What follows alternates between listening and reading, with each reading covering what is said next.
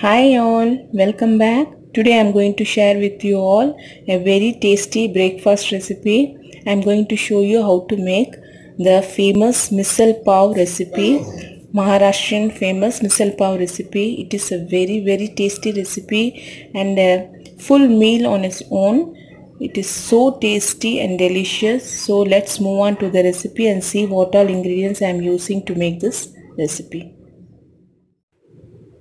For making misal, I have taken here matki or moth it is called.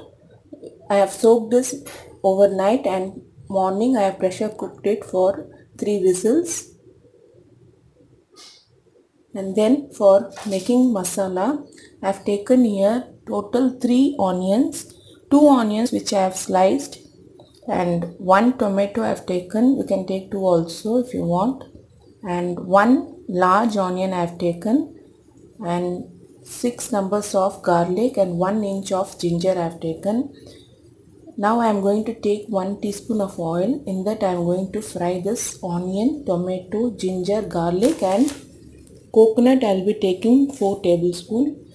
This I am going to fry it till brown and then grind it to a paste. So let's see. I have taken here 2 tablespoons of oil in that I am going to fry the onion, one large onion which I have chopped.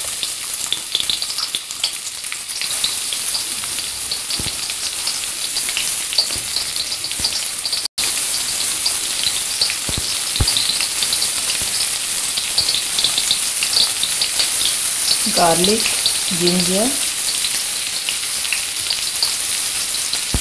and tomato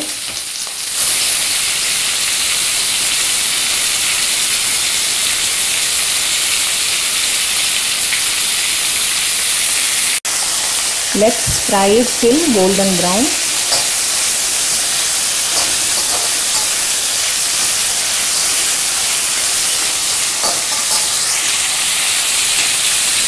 Now add the dry coconut.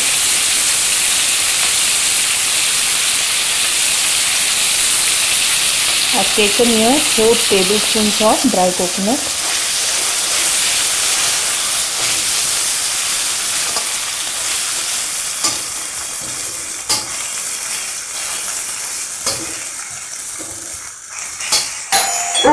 Now it's golden brown. Now let's remove it and cool it and then grind it. Again in the same kadai I have taken here 6 tablespoons of oil. Now I am going to add 1 teaspoon of zira in it.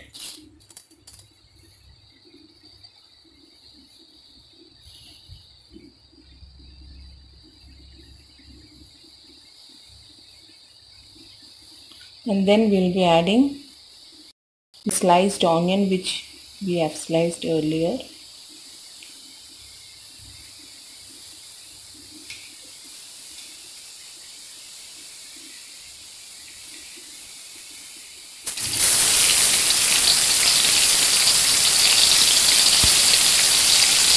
I've taken here one onion slice and the other onion slice I have taken have kept for decorating it.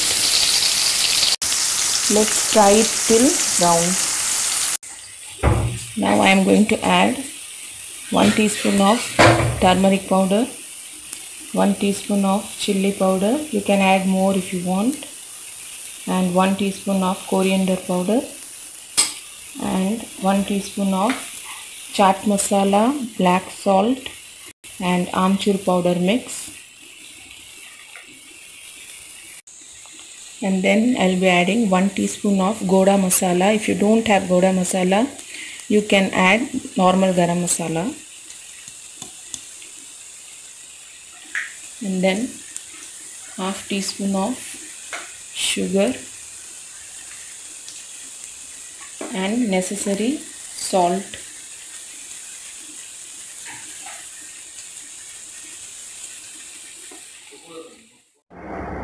Now I have added the matki in it and giving it a mix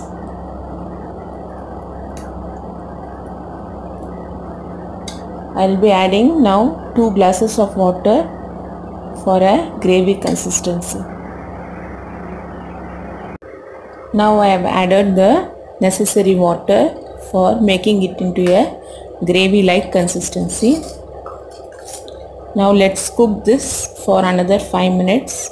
It's almost ready. Tasty mouth-watering misal pav is ready. Please do try this recipe at home and give your valuable feedback in the comment section. If you like this recipe, please give a like, share and please do subscribe to my channel. Thank you.